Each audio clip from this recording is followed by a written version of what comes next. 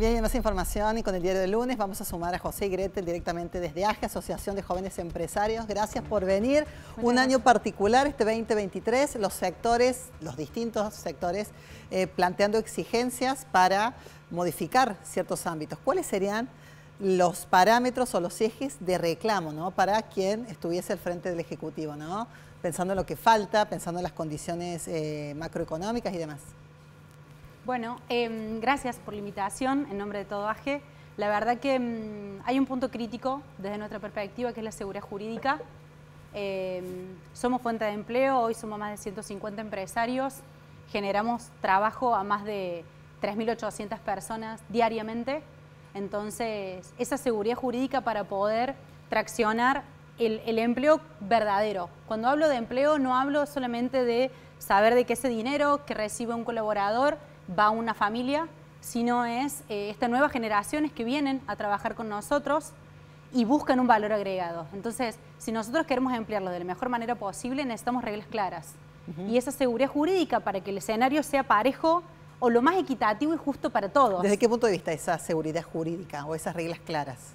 Que la, que la relación, la relación en la que nosotros generamos empleo, pueda ser recuperada y valorada por el colaborador como un lugar seguro, como un lugar de compromiso, como un lugar de responsabilidad, como un lugar donde me quiero quedar para venir a trabajar por fuera del cumplimiento horario. En, parte de mi empresa yo me dedico justamente a pensar en los recursos humanos, entonces el agregarle un valor a que, a que este lugar donde, donde nos viene a dar, a dar su capacidad o su responsabilidad tenga eh, ese 101% de cómo se produce este vínculo en empleabilidad. Y nosotros, como compañía, darnos vuelta y saber que por detrás tenemos un Estado que protege la relación, no solamente que protege a una de las partes. Cuando hablas de una de las partes, ¿vos pensás que hay como más garantismo para los trabajadores pensando en sus derechos y tal vez olvidando las obligaciones que debe tener ese trabajador como una unidad de producción? Absolutamente, y voy a, voy a, dar una opinión muy personal en este sentido. Creo que el, el branding que tenemos los empresarios es un branding donde somos los, que los, únicos que nos enriquecemos, somos los que trabajamos para nosotros, donde, y en realidad nuestra diaria, lo hablábamos recién con José previo a ingresar al programa, es decir, che, ¿cuál fue tu día? Y tu día fueron las conversaciones que tuve que tener con mis equipos para ver cómo engrandecemos los objetivos de fin de mes en una situación económica absolutamente dura.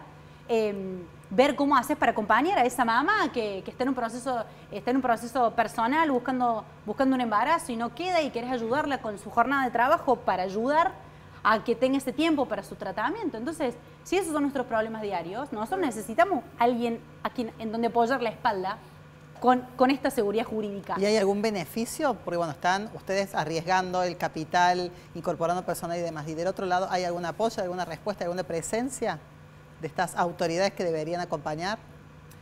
Por supuesto que hay, o sea, no, estamos solos, el Estado está presente, solo que em, yo creo que el nivel de presencia que estamos buscando, particularmente en un año electoral, es una presencia mucho más genuina, mucho más equitativa, donde haya programas de empleo, pero que que, haya, que esté el Estado acompañando ese programa de empleo para ver cómo está la persona, no solamente que piensen nosotros en el quit que pusiste para ver cómo vas a emplear a esta persona. y, justamente en ese punto, en un año electoral, ¿ustedes creen que está en, una agenda genuina de la dirigencia política esto de las preocupaciones este, reales del empresariado, no?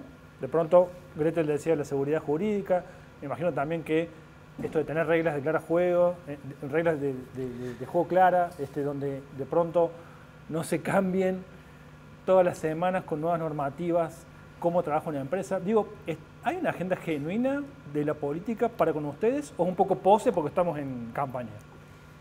Mira, esto me parece que Argentina ha sido una muy buena fábrica de políticos profesionales. Son realmente muy buenos, muy hábiles, pero están muy preocupados quién gana, quién pierde, pero no, no existe genuinamente una agenda, por lo menos nosotros no lo, no lo identificamos, porque creo que está claro que Argentina necesita una reforma laboral, eh, porque ninguno de los dos sale ganando, no sale ganando el trabajador, porque cada vez menos empleo formal, no salimos trabajando nosotros, eh, ganando nosotros porque no, no sabemos si, si, estamos empleando gente o simplemente dándonos un tiro en el pie. Entonces, nos hemos puesto en esta maraña regulatoria tan intrincada en una situación al país que no favorece a nadie. Y, poner eso, que es una realidad, y ponerlo por encima de la discusión política, eh, tiene que estar al orden del día y hoy realmente no lo está, porque se le da privilegio a la política en vez de darle privilegio a la realidad, que nos puede no gustar, pero no deja de ser la realidad. El sistema que tenemos nosotros hoy es un sistema que no, no promueve la relación laboral, no, no promueve que nuevas empresas se, se, armen, porque podés cambiar un impuesto de la noche a la mañana sin ningún tipo de problema, este, y, una actividad que, era buena dejó de serla, eh, lo pueden castigar con regulaciones y una actividad que se podía aprobar rápido ahora es un infierno. da, la sensación de que cuando hay un sector que va creciendo, ahí aparece alguna nueva regulación y le pones un techo, ¿no? Sí, increíblemente parece que cuando algo funciona bien nos encargamos de que empiece a funcionar mal, ¿no? Porque tenemos esta idea ridícula, por ahí absurda, que eh, un, batallón de, ordenan, de, regulaciones, de ordenanzas, de leyes provinciales, nacionales, em, hace que las cosas funcionen mejor y la realidad empírica es que funciona mal y funciona peor. No funciona mejor, funciona peor y sectores por ahí que estaban teniendo cierta dinámica, cuando viene esa bataola de regulaciones, de repente dejan de funcionar y bueno, y nos quedamos todos a mitad de camino. ¿Qué pasa con respecto al ámbito de la construcción? Empezaba obra pública con sus características, eh, obra privada y demás, en un contexto inflacionario, en un contexto de tanta dualidad o 20 dólares distintos. ¿Cómo, ¿Cómo se plantea ese día a día? Y es lo más parecido al quinto infierno que podés ver en la tierra, digamos. Es realmente muy complejo, si querés te diga que es fácil y bueno, no, no, no lo es ni por cerca, porque vos vendés, tenés una obligación de construir, naturalmente por lo que vendiste. El sistema financiero está absolutamente desconectado del, sector desarrollista. Estamos en un país donde la gente compra electrodomésticos en cuotas, pero una casa la tiene que comprar en efectivo y eso no es culpa ni del desarrollista, ni del mercado, ni el juego de las tensiones que hay sino es responsabilidad y tenemos un sistema financiero que el ahorro del privado está pura y exclusivamente dedicado a financiar la gestión diaria de la política y la gestión diaria del ámbito público. Entonces, a diferencia de otros países donde el ahorro del privado va a ayudar a otro privado para que compre una casa, financie en largo plazo, nosotros tenemos que hacer un sinfín de, de estrategias para poder terminar un edificio, para poder avanzar. Datos de la SEDUC nosotros estamos vendiendo un 95% menos de inmuebles que hace 11 años atrás. 95% menos de inmuebles. Y la tasa de natalidad de nuevos inmuebles, que son los nuevos inmuebles que vienen a sustituir los que se van deteriorando y hace falta para un crecimiento demográfico positivo, como indica el censo que hemos tenido en el país, no lo podemos lograr, porque la actividad deja de ser cada vez menos interesante y los perjudicados, sin lugar a dudas, siempre terminan siendo José, ¿y cuál es el objetivo o, qué se proponen hacer desde AGE? ¿no? Eh, Gretel decía, somos 150, usted es una entidad joven que nació hace un par de años, ya son 150 este, empresarios que mueven bastante en Córdoba, pero de pronto es un espacio de catarsis o tienen una hoja de ruta para decir, queremos juntarnos para hacer esto, para plantear este reclamo, para ver si podemos llevar esta política nueva, esta política pública nueva al Congreso. ¿Cuál es un poco Primero, creo que hay que dejar muy claro que nosotros, como artífices, como un sector de la economía, eh, nosotros no somos responsables de las cosas, más bien somos damnificados de las cosas que suceden en el país.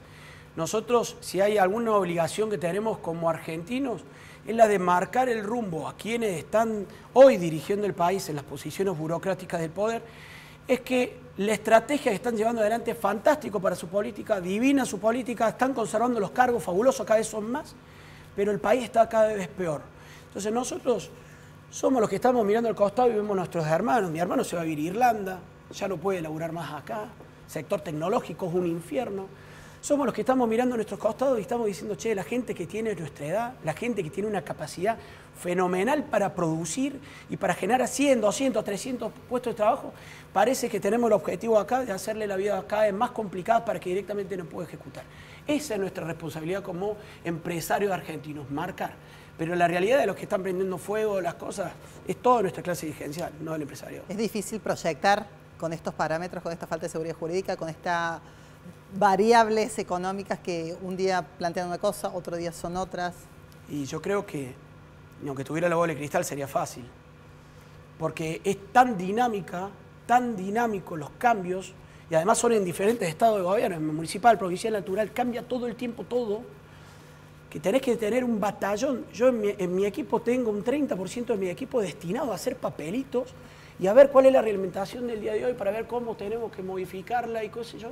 Y en vez de estar pensando y generando valor genuino, cómo proveer un mejor producto, más innovador, más amigable con el medio ambiente, más tecnológico, de mayor prestación, estamos viendo cómo cumplir una serie de reglamentaciones que la mayoría de las veces no tienen ni, ni ningún tipo de sentido. Entonces es imposible. Además, eso es lo otro, ¿no? Constantemente estamos dejando que produce en posición de upside, porque te aseguro que alguna norma está incumpliendo. Son tantas, tan complicadas interpretaciones y además de una interpretación discrecional y subjetiva que siempre está todo el mundo en offside. Gretel, ¿cómo son los trabajadores hoy o los empresarios hoy? Eh, porque son una camada de jóvenes con características bueno, generacionales que siguen apostando. No se han ido, como tu hermano, por ejemplo. Sí, sumo a eso algo que, que lo escuchaba José. ¿Sabes a dónde notamos? Eh, en conversación de networking con estos 150 empresarios en la última juntada que tuvimos. La conversación en la mesa era, che, no me animo a hacer contrato a más de 8, 9, 10 meses. Y uso la palabra contrato para hablarte de pensar en no producción de un producto y decir, che, ¿cómo hago para traerme esta máquina productiva que necesito para armar, armar mi línea, contratar, contratar a quienes necesito para producir? Darme vuelta, armar la cadena de suministro. Bueno, pensar a largo plazo hoy es pensar a 10, 12, 12 meses. O sea, una relación laboral, el mismo colaborador, este mismo agente de cambio que viene a trabajar en tu empresa donde le prometes todo lo que va a obtener gracias al vínculo laboral, lo tiene que pensar a 365 días. Y eso es un montón. Y es un montón de tiempo. Es un montón porque, como recién decía José, en, 365 días una persona puede cambiar de opinión radical de dónde quiere vivir. No estamos hablando de, che, ¿cómo lo puedo ayudar para que se compre este bien que está buscando ese tiempo? Porque es su sueño. Para que se compre el caballo que quiere, para que se compre el auto, para que se compre la casa, para que... No. Esté evaluando mes a mes, salario a salario, a dónde va a terminar viviendo. Entonces, si si un colaborador, sus pensamientos y su toma de decisiones está basada en ese nivel de falta de base, porque todavía no elige el país, porque todavía no elige, todavía no elige esta economía, porque todavía no elige la, macroeconomía en la que esté envuelta y las decisiones que puede tomar como consumidor, imagínense lo que sostener una relación laboral a largo plazo. Entonces, em, ¿qué pienso? Que, que, hablar a 12 meses es hablar a largo plazo. Se cambió. Hoy, hace, hoy uno quiere planear los objetivos y tiene que pensar en el Q. Che, Q1, Q2, Q3, Q4. ¿Le genera alguna expectativa el cambio político, si se puede dar, digamos, de cara a unas elecciones, ¿no? Que puede suponer Yo particularmente soy de las que no pierdo las esperanzas nunca, personalmente. Bien, se Ahora, una idea positiva a lo mejor. O sea, eh, quiero no perderlas. Por eso estamos en ámbitos y en espacios donde queremos estar y hacer cosas por y para los empresarios. Para, queremos estar... si yo perdiese las esperanzas, evidentemente estamos complicados yo, José, o como asociación, representando a todos esos más de 150 empresarios, pero comparto con José, no estamos en la agenda real. Chicos, les agradezco por venir. ¿eh? Gracias, gracias, José, gracias Greta. Muchas gracias. Aquí estaba entonces el panorama desde AGE, Asociación de Jóvenes Empresarios. Estamos y con el diario de lunes nos vamos al corte, ya venimos.